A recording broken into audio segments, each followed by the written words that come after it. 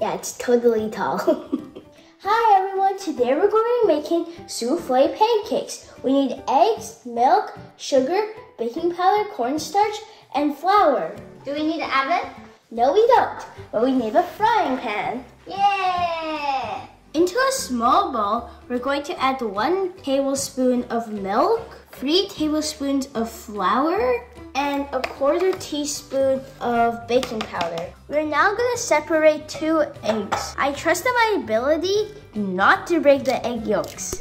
I'm just gonna scoop it out with my hand. And I'm just gonna put it here. We're now going to mix the egg yolks together. So I'm gonna break the egg yolks, oopsies, and I'm just gonna stir carefully. Once they're all combined, you can stop.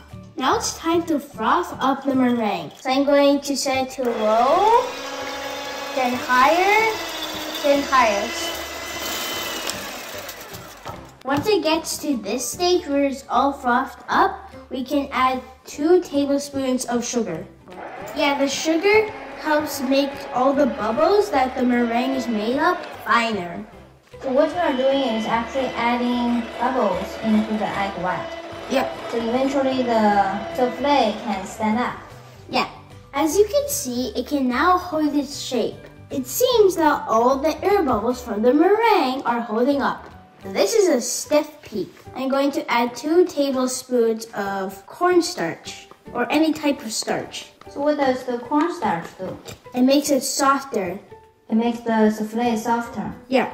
And we're just going to mix it by hand. So I'm just gonna put it in and just mix. Well, look at that. They're kissing each other. You just add the egg yolk mixture into the egg white slash meringue and mix, and you're done. Now we're ready to cook. You're going to need two molds that are 5 centimeters tall and 10 centimeters in diameter. Time Currently we haven't turned on the heat, right? Yep.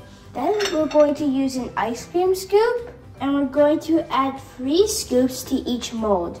I'm going to turn the heat on to medium and we're going to add water. Add about a tablespoon on each side. Put the lid on. We're now gonna set an eight minute timer. Eight minutes has passed, so let's have a look. The souffle has risen up. Now time to test the top. Hmm, it's solid. It's time to flip it. Uh, One, two, two, three, flip. Miss.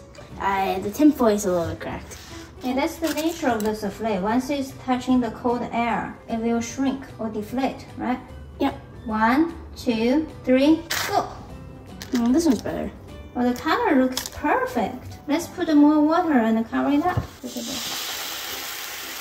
Ooh, that is hot.